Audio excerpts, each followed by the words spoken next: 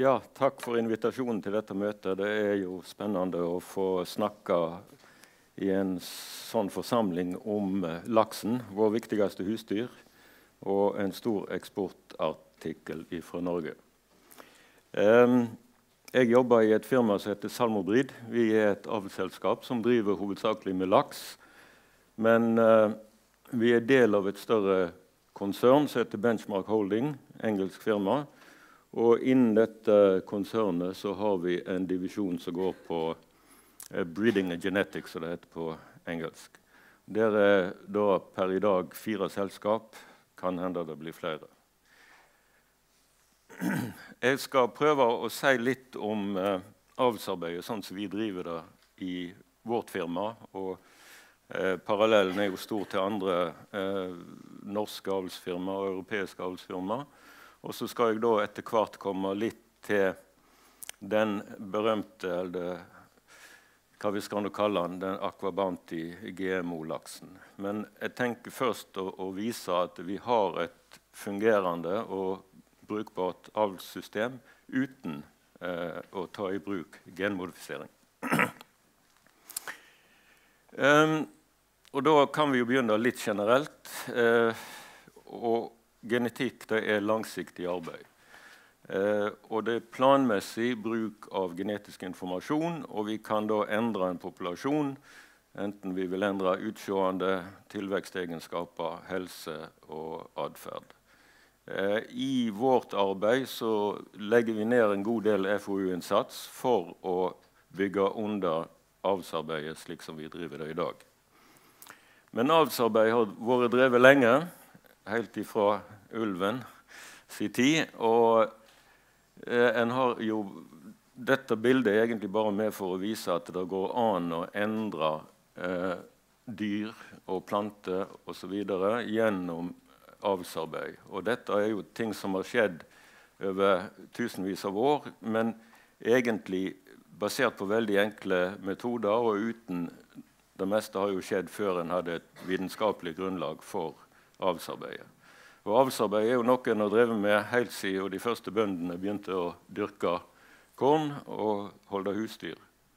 Men det er først de siste si, 50-60 åra at vi har lagt til grunn en mer vitenskapelig arbeid bak avlsarbeidet. Og et annet eksempel som da er basert på den moderne avlen, det er jo at vi har endra produksjonsegenskapene, f.eks. til svin. Eh, der et, et enkelt eh, en, en, egenskap som var enkel å ta fatt i, var jo det alt dette fettet som eh, tradisjonelt var på, på, grisen, der vi har gjort et utvalg over 15-20 eh, generasjoner som har forandra det såpass mye. Det har òg forandra eh, kjøttkvaliteten og ikke minst eh, effektiviteten i produksjonen. Seleksjon, eller Avlsarbeid er jo egentlig seleksjon. Vi må vi øns de ønska egenskapene som vi vil fremme, de må vi selektere for. Og målet er jo da å flytte eh, populasjons... Altså De fleste egenskaper som vi snakker om, har jo en normalfordeling. Gjerne enten du tenker på størrelse eller Eh, slike ting, så har du en, stort sett en tilnærmet normalfordeling. Og så velger en ut de beste, eller de en ønsker å bruke som, som, foreldre til neste generasjon. Og dermed så flytter vi eh, gjennomsnittet i populasjonen. Det er hovedsaken i avlsarbeid. Og for at vi skal drive et systematisk avlsarbeid, så må vi ha arvelig variasjon. Vi må kunne måle egenskapen. og i, uh, i, i uh, vårt arbeid så må vi òg jobbe med egenskaper som har økonomisk verdi. Og de egenskapene som vi jobber med i laks, det er jo tilvekst, robusthet, altså helseegenskaper og kvalitetsegenskaper. Vi jobber med noe som vi kaller familieseleksjon, eller familiearbeid. og da produserer vi eh, hvert år nye familier, dvs. Si fullsøskengrupper, Fordelen med laks eller fisk generelt framfor f.eks. storfe det er jo at du har veldig mange avkom, og dermed kan du eh, drive et effektivt avlsarbeid. Vi, vi Ops. Nå gikk det litt fort her.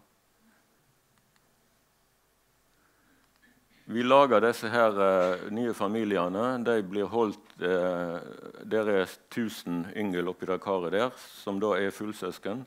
Når de blir den størrelsen her, så får de et uh, elektronisk merke i buken, sånn at vi kan følge dem videre og registrere alle egenskaper knytta til det individet. Og eh, Familieavl er jo da viktig fordi at eh, det, det er ikke alle egenskaper vi kan måle på dyret sjøl. Eh, F.eks. sykdomsresistens. Så tester vi søsken til de som vi skal bruke i avlsarbeidet. Og det samme med slaktekvalitet. Du kan ikke avle videre på en laks som du har slakta og målt fett og farge i. Ops.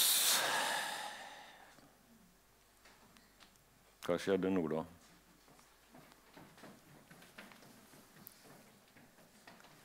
Det var ikke meningen å gå i svart. Takk. Ja. OK. Um, da Jeg har jo ikke fått så veldig lang tid her, så jeg skal ikke gå inn på selve hvordan vi driver avlsarbeidet. Men jeg skal si litt om, om de ulike avls- eller seleksjonsmetodene. Det tradisjonelle er jo kvantitativ genetikk, der vi måler og veier og, og bruker data på, eh, på, den stamfisken vi vil ha, pluss eh, slektninger.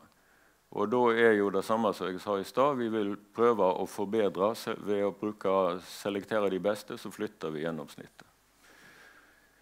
Og norsk eh, husdyravl er jo egentlig vel anerkjent rundt om i verden. Vi har vært blant de fremste når det gjelder avlsarbeid både på storfe, gris, kylling og ikke minst nå på laks.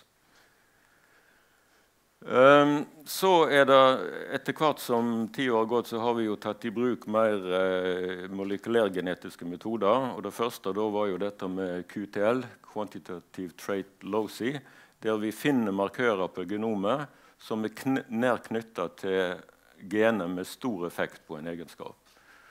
Og da bruker vi disse markørene, genetiske markører for å velge eh, og Det gir oss da en tilleggsinformasjon i tillegg til de fenotypiske mål som vi har gjort på, på individet. Og det siste trinnet så langt i alle fall, når det gjelder avlsarbeid, det er jo genomisk seleksjon. Da, vi, da prøver vi å kartlegge mange gener på, på over, fordelt over hele genomet. Og bruke de som en uh, Prøver å kombinere de beste genene for å få fram de, de egenskapene vi ønsker. Ehm, et viktig forutsetning for dette arbeidet er jo eh, sekvensering av genomet. Laksen ble først sekvensert for et par år siden etter et stort internasjonalt samarbeid. og Det på, hjelper veldig i, som grunnlag for genomisk seleksjon. Andre husdyr som storfe og gris ble sekvensert betydelig tidligere og tatt i bruk da genomisk seleksjon tidligere. Så bare et par eksempel for å vise den variasjonen som vi har i en avlspopulasjon, og som gjør at vi kan gjøre et utvalg og forbedre egenskapene. Her er da eh, disse her, eh, 300 familiene som vi snakket om, som da i en slaktetest den, og dette, Her er ca. 20-30 fisk bak hver stolpe her. og den familien med dårligst tilvekst var under to kilo, mens den med best var fire. sånn at Det betyr jo at det er en, en 100 forskjell mellom dårligst og beste familie. og Det betyr at det er gode muligheter for å gjøre utvalg. Et annet eksempel som rett nok ikke er laks, men uh, det illustrerer veldig godt hva en kan oppnå med systematisk avl. Her hadde basepopulasjonen som en starta avlsarbeidet med, den brukte åtte måneder til å bli en halv kilo. Etter seks generasjoner så var en ett kilo etter åtte måneder, og etter tolv generasjoner så er du 1,5 kilo på samme tid. Så dette har nok litt med miljøforbedring å gjøre òg, men jeg vil tippe at minst halvparten da skyldes rett og slett en bedre en, en, seleksjon av de beste og raskt voksende individ.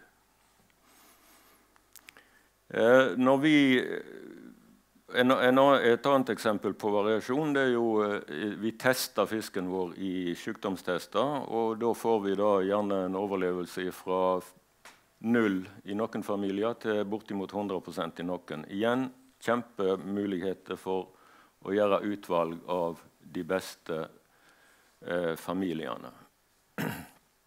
Og her er bare en illustrasjon på at vi faktisk oppnår dette. For her har vi da testa avkom der vi har gjort seleksjon for sterk og svak mot akkurat denne sykdommen, pankreastisis. Og vi får da en forskjell på 45% i overlevelse i avkommet etter de sterkeste og de svakeste familiene. Så avl virker. Uh, dette viser akkurat det samme når det gjelder der har vi gjort utvalg for luseresistens. Jeg skal ikke gå inn på tallene, men igjen, det viser avkommet får de egenskapene vi mener de skal ha, og basert på uh, de beregningene vi har gjort. Et annet viktig tema som vi har jobba litt med, det er jo laksens evne til å produsere EPA og DHA. Og der har en jo, Jeg skal ikke gå inn på prosjektet, men det viser at her kan vi gjøre noe. Eh, og så var det den GMO-laksen de siste tre minuttene. Vi har eh, et statement på vår hjemmeside som sier at vi bruker ikke eh, GMO i vårt avlsarbeid. Og slik er det, og slik tror jeg det vil bli en god stund framover. Eh, hvorfor ikke? Jo, per i dag så tror jeg i, i, i Norge og i Europa i alle fall, så tror jeg markedet ikke vil akseptere en genmodifisert laks. Det er ikke noen effektiv måte å gjøre utvalg, iallfall for de kvantitative egenskapene som vi snakker om. Og eh, Det ble jo nevnt her i starten at eh, Aqua Bounty hadde holdt på i 20 år. Eh, og det ville sikkert tatt nesten like lang tid om vi prøvde å få godkjent et sånt produkt i Europa. Ehm, kan det bli aktuelt? Eh, enkelt, jeg tror nok at GMO kan løse enkelte egenskaper eller enkelte problem for oss. Eh, men for kvantitative egenskaper så er det lite effektivt. og Det skal jeg vise dere på en slide litt senere her. At eh, det begrenser hva en kan oppnå med det. Men altså for, for la oss si, en, en eller annen egenskap som er styrt av ett eller få gen, så en kunne fiksere det eller hente et bedre gen fra en annen organisme? Ja, muligens. Men det er ikke aktuelt for oss i dag. Ja, dette har de allerede hørt. at uh, Her er det tilført uh, gener til den akvabantilaksen. Så det skal jeg ikke bruke tid på. Men jeg skal dvele akkurat litt med den eh, sagt, reklamen som eh, Aquavanti driver med for sin laks. da. Dobbelt så rask tilvekst, hevder de. Nå har de rett nok hevda det i 20 år. da, men, eh, og, og, her er den kurven som de viser i sine presentasjoner, der den liksom skulle vokse dobbelt så fort. Så har jeg tatt med forbehold om at jeg kan ha gjort ikke 100% nøyaktig, men jeg har putta Aquabanti inn her sammen med våre tilveksttall. Eh, og da Det ble mange linjer, så det er kanskje ikke så lett å se. Men den grønne Aquabanti den starta størst fordi at den ja, De tok utgangspunkt i et, rundt 400-500 gram. Og etter 700 dager så skulle den være 6 kilo. Og det er her. Og da er altså noen av våre Nei, det er den grønne. om forlatelse, det er den grønne, så den er her. Og alle våre grupper da, av stamfisk er større på, ved samme alder.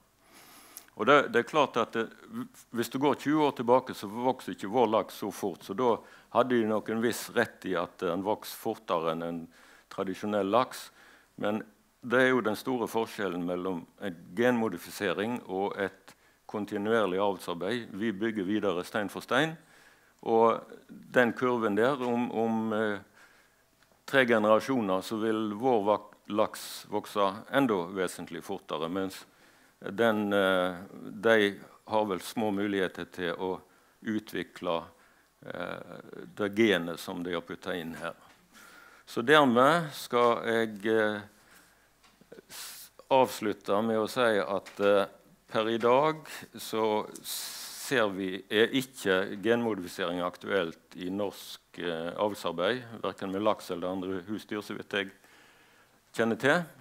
Og eh, jeg tror heller ikke at eh, det er så store fordeler med det at det er aktuelt i nær sagt overskuelig framtid.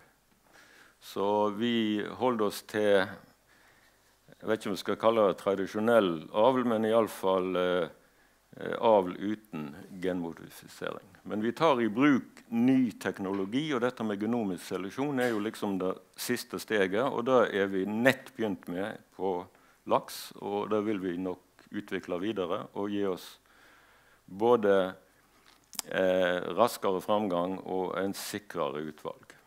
Takk for meg.